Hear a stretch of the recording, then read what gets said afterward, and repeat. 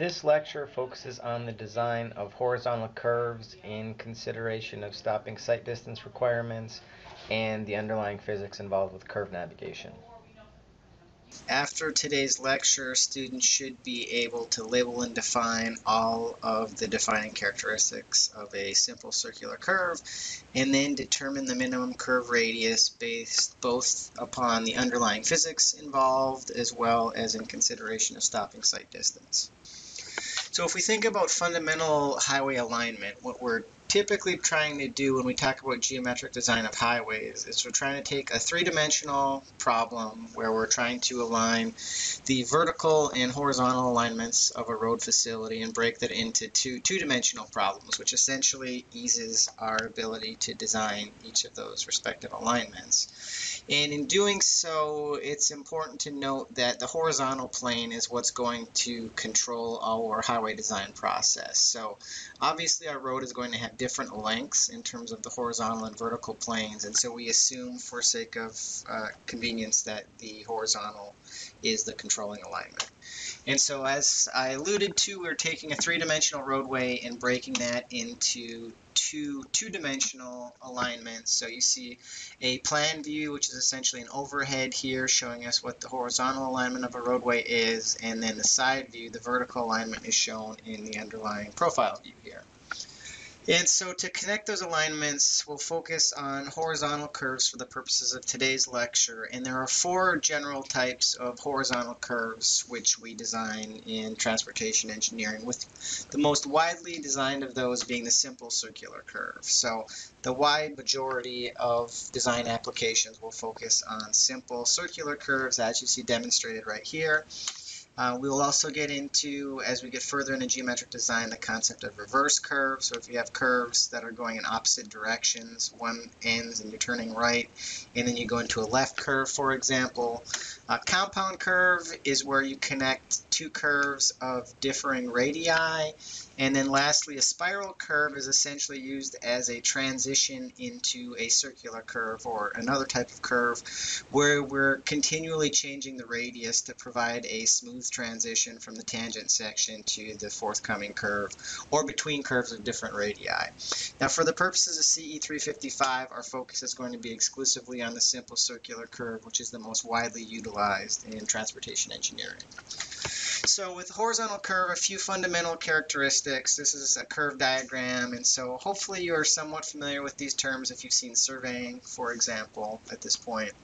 And so when we talk about curves, we define curves by the PC, the PI, and the PT, which are the point of curvature or the start point of that curve, the point of tangency or the end point of that curve, and the point of intersection is where if you project out from those start and end points of the curves where those projections would intersect then. A few other key terms here. Uh, radius, which is generally being measured to the center line of the roadway, is denoted as R. Uh, L is going to be our curve length, which will be the actual length along this arc as compared to vertical curves where we're concerned just with the horizontal projection. Uh, delta is our central angle, which also corresponds with this intersecting angle you see up here. T is our tangent length measured from PC to PI, or since it's a circle, that same dimension, PI to PT. M is our middle ordinate, so if you draw a straight line, we refer to this right here from A to B as the long chord, so it's the distance between this point and that actual point on the curve directly uh, across from the PI. And then E is the external distance, which is measuring from the point of the curve to the actual PI there, directly outside. And from these fundamental characteristics, we can look at the underlying geometry and trigonometry to then use these widely applied relationships. So if we know two of these characteristics, we can then calculate the third, as we'll demonstrate in some of the subsequent example problems. And when we talk about curve design, we also frequently, instead of curve radius, we will often use degree of curve instead. And when we talk about degree of curve, what that's measuring is the degree that would subtend a 100 foot arc. So if you break your curve into a series of 100 foot arc lengths, they would each have this same D value for degree of curvature. And so the simple formula here to compute from radius to degree of curvature is given as follows. And so degree of curvature is nice from several standpoints, one of which A radius for a straight tangent section tends toward infinity, but it's nicer for degree of curvature because if you've got a tangent section, i.e. there's no curve, the degree of curve simply reduces down to zero then, and it is actually defined in this nomenclature. So just a quick example problem here. So let's say we've got a horizontal curve on a single lane highway and we have a PC at station 123 plus 70 and we're given the PIs at station 130 plus 90. We're also told that the curve has a radius of 1,738 feet and so from that we want to then be able to calculate the station of the PT. And so one careful point to remember here, so if you just look at this underlying diagram, we can clearly measure the actual distance from the PC to the PI, so we can directly calculate T here. Likewise, this tangent length would have the same length as we see right here, but it's important to remember when we talk about stationing, that's simply referencing our distance from the PC. And so the distance from the PC to the PT is not equal to twice the tangent because we're taking the physical distance along the curve here. So that's a common mistake uh, we just want to outline at the onset here. So to determine the stationing of the PT, we'll actually need to determine what the length of this curve is, the information that's available to us. So to start with the PC and the PI, as we noted, the difference between those is simply equal to our tangent length T. And so from what we know about the stations of the PC and the PI, we can directly solve for T, which in this case is going to be equal to 720 feet. Once we know the tangent length, we can then solve for delta using this equation. The tangent distance is equal to the radius times the tangent of delta over 2. And so with everything else known, we can then directly solve for that delta, which in this case is going to be 45 degrees. And so with delta known to us, we can then plug into this equation for curve length. And so we know our radius is 1,738 feet. Our delta central angle is 45 degrees. And so our curve length in this case is 1,365.2 feet. And with the curve length in hand, we can then solve for the station of the PT. And so we find then in this instance that the PT station is going to be 137 plus 35.2. And so that's just fundamental curve layout. Now a natural question is, well, how do we determine what the actual radius of that curve should be? And so when we're trying to design our horizontal alignment, we're essentially trying to determine how sharp we should make a curve or how long we should make a curve that's transitioning between two tangents that are running at different headings. And so when we look at this, the primary factors that are going to affect that curve design when we think about the underlying physics are the side friction that's going to be generated at the wheel interface with the pavement and then also the super elevation rate at which we bank the roadway. So, so this diagram right here is illustrating the underlying physics involved with a vehicle navigating a curve. And so in looking at this diagram, we see that a vehicle as it's circulating the curve is tending to go outward away from the center of that curve due to centripetal acceleration, which is captured right here. And that force is being resisted by two primary metrics, one of which is the super elevation rate, so how steeply this curve is banked. Obviously, the more we bank that, the greater this angle alpha, the faster that vehicle can go while still maintaining its position on the curve. And then the second factor is the amount of friction being generated here between the tire and the underlying road surface then, which is denoted by this term you see right here. And so through some algebra, we can reduce this down to the equation you see illustrated right here. Now, two important points to note here. First of all, this term right here, f sub s times the tangent of alpha, is going to be very small, so we can essentially assume that's equal to zero, and that term will then drop out of this equation. And then secondly, our super elevation rate, which is telling us how much our road is rising in the vertical direction for every one foot change in the horizontal direction, is going to be equal to 100 times the tangent of this alpha angle. And so consequently, what we can do then is we can take this equation and simplify it down to this equation right here for minimum curve radius. So our minimum curve radius is simply equal to our velocity squared times the gravitational constant which is then multiplied by our super elevation rate in decimal format and our side friction factor. And so what we see right here, this is just reiterating those same factors we just introduced previously Now, in applying this equation, our radius is generally going to be measured in feet. And for our units to cancel out here, uh, super elevation is going to be unitless, so it's just going to tell us how many feet we move in the vertical for every foot in the horizontal direction. And F sub s is also a unitless coefficient of side friction. And our gravitational constant is, of course, going to be 32.2 feet per second squared. And so for our units to cancel out, we actually need our speeds to be in feet per second. Now, obviously, we're frequently working with speeds in miles per hour, so all we would need to do in that instance is to convert this to feet per second, which is just taking 5280 over 3600 or 1.47 roughly, that quantity squared, dividing that by 32.2, and this actually simplifies down to a nicer equation that's simply our velocity squared over 15 times e plus f sub s. And so in applying this equation then, our process is generally to determine a super elevation rate, so how steep we can bank a curve. There'll be a natural cap in terms of how large that value can be. I will need to determine a design speed, which will be a function of what class that road facility is. And then based on the speed, that will establish the maximum amount of side friction we're going to be able to generate. And with those given, we can then determine the minimum curve radius.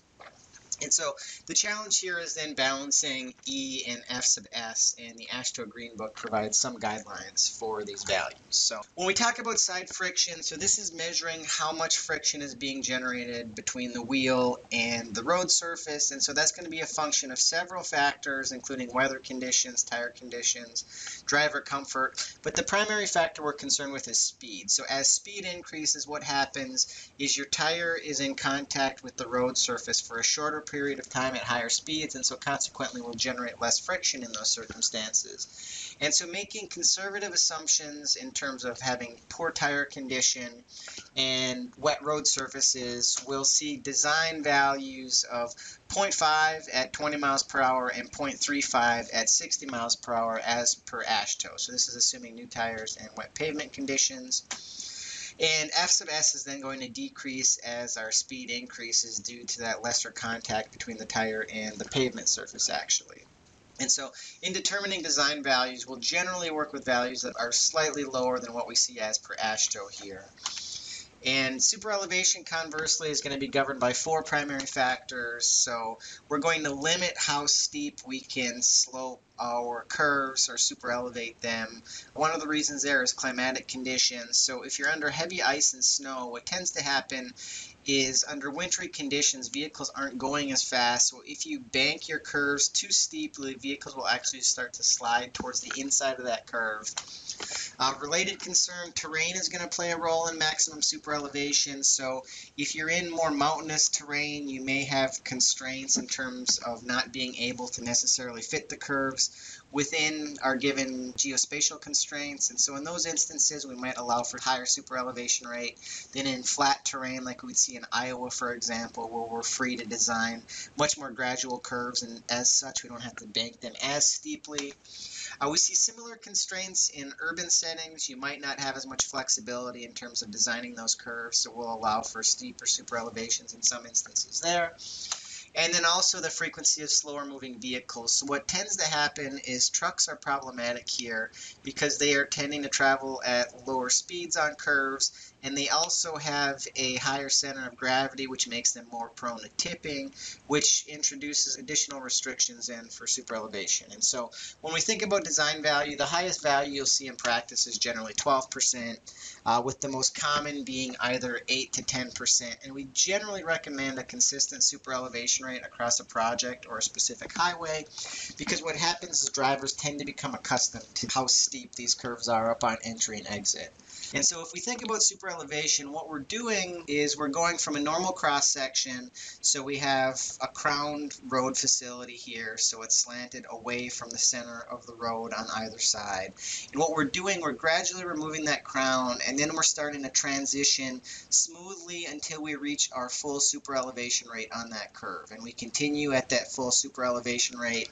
And as we continue towards the other side of the curve, we're going to ramp this down and gradually transition back to that tangent section. And so We refer to this transition in two sections. So first of all, we have the tangent runout section. So we're going from a normal cross slope. So let's assume these are each sloped at 2% from the center of that travel way. And over the tangent runout, what we're doing is we're getting rid of this adverse slope on the inside of the curve here. And so we go from the normal cross section to what we see right here, rotating that inner lane around the center line. And then once we get to that point, we're then going to accomplish the super elevation run off, which basically means we're going to take this and we're going to rotate it up so it's at a consistent cross section. And then once we've got that consistent cross section, so let's say this is a consistent 2% crown, we can then continue to rotate that upward until we reach our maximum super elevation. And so this slide is essentially showing us how this process is done gradually. So we're starting from a normal crown, we're eliminating the adverse crown on the inside, and then we're at full, say one and a half or two percent, and we keep ramping that up until we get to our full super elevation. And so we won't get into great detail in this class in terms of determining how much length is required to accomplish these transitions, but there are standard design tables provided in the Green Book and in our course textbook that illustrate common design values for the distances over which these transitions occur. Pulling it all together, our design equation we had indicated previously for minimum curve radius. We also have consistent tables that are provided in AASHTO that allow us to then determine what a minimum curve radius is for specific values of E and F sub S. And so our side friction factor, as you'll notice here, let's just pick a certain speed. So 60 miles per hour, we'll see a consistent value of 0.12, which is significantly lower than what we had seen with good tires. We're assuming much poorer tire condition here. And so that's essentially fixed based on our speed. And so what we do then is we determine what our maximum super elevation is. And from that, if we know our design speed, we know what the highest acceptable super elevation rate is, we can then solve directly for our curve radius.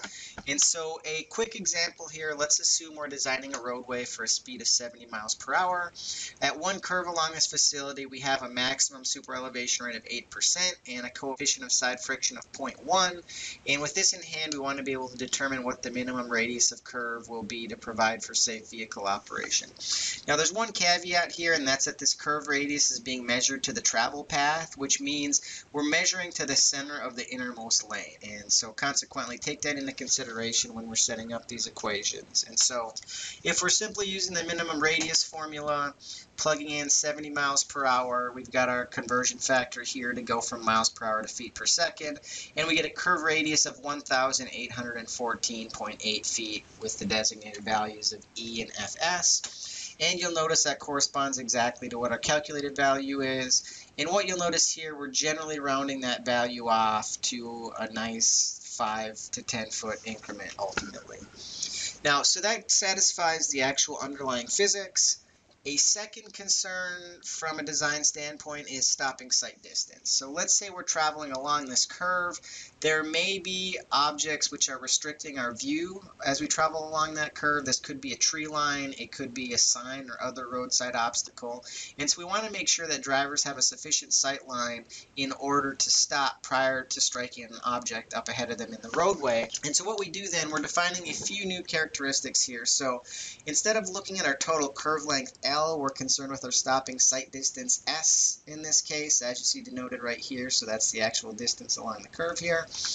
Our central angle here is going to be 2 theta, and so this is different from the delta angle because this may or may not correspond to the actual curve characteristics. And HSO, this is our horizontal sightline offset. You'll also see this denoted as lowercase m, and this is telling us how much distance we would need to clear from that sight obstruction to the center of the innermost lane where we have our greatest constraint for stopping sight distance.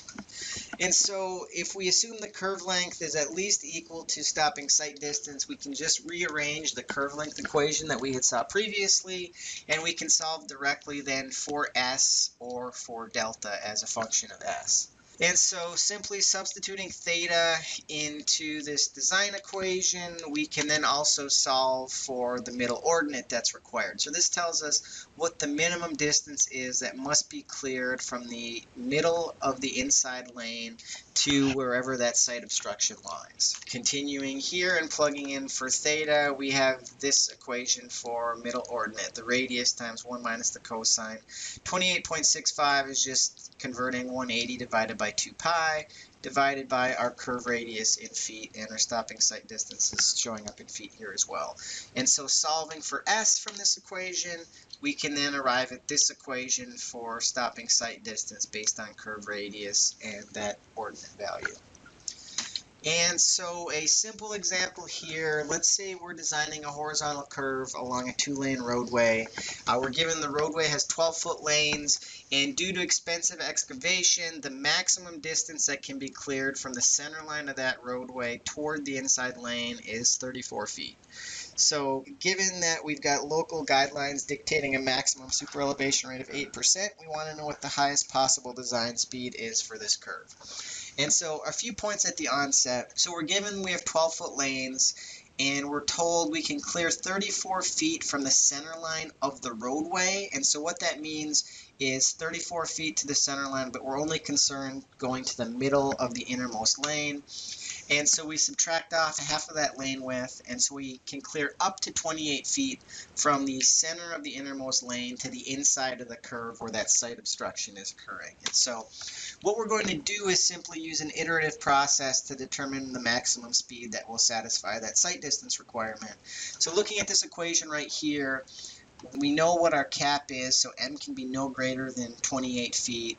We can then select different design speeds. As our speeds change, our radii change, our stopping sight distances change. And so we're going to solve this inequality so that the right hand side is no greater than 28 feet. And so let's just say we start with 40 miles per hour 40 miles per hour results in a stopping sight distance of 305 feet. We can then go to our table to determine a value for minimum curve radius, assuming 8% super elevation, and that gives us a radius of 444 feet. So we plug S and R into our equation, and we find that M is equal to 25.9 feet, which is less than the 28 feet that we have allowable, and so we are then safe at 40 miles per hour. So we increase the speed to 45 miles per hour, our stopping sight distance and curve radius change. And now our middle ordinate, we need to provide 27.4 feet in this case, which is still less than the 28 foot cap. And so we are still safe at 45 miles per hour. Now we increase that to 50 miles per hour, stopping sight distance and radius again increasing. And now we find that we need to have at least 29.6 feet clear from the center of the inside lane, which is above the 28 feet. So what that means is we're not able to safely satisfy stopping sight distance requirements at 50 miles per hour. And so consequently, the maximum safe design speed for this curve is 45. What we've done briefly here is just shown you an introduction in terms of how the underlying physics are satisfied when we design a horizontal curve, as well as how we satisfy the stopping sight distance requirement. And so for a curve to be safely designed, we need to make sure that both of these constraints are ultimately satisfied.